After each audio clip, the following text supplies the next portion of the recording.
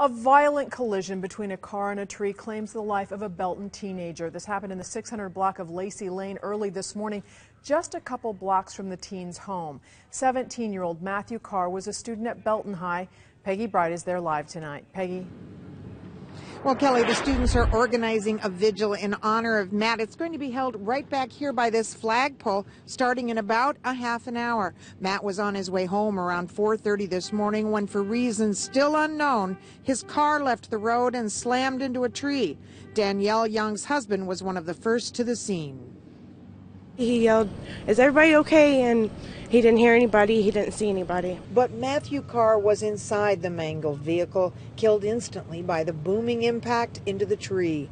Many people rushed to the wreckage and tried to help, but couldn't. The driver's side was completely crushed in the car looked like it got turned into a horseshoe from that point. Pete Wing says the car is distinctive, so was its loud muffler. He'd seen the Chevy Cavalier zipping by here many times before. Everybody in the neighborhood, you get used to seeing the cars.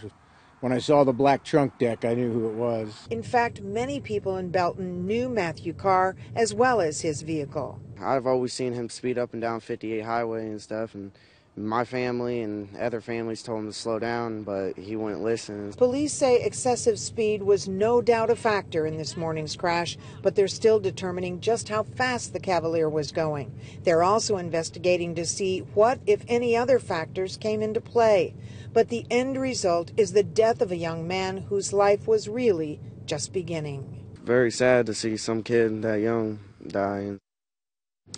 Now, the school brought in extra counselors to help the kids today. You'll hear the district's response to this tragedy, as well as what the police hope kids can learn from it, coming up on our news tonight at 6. We're live in Belton. Back to you in the studio.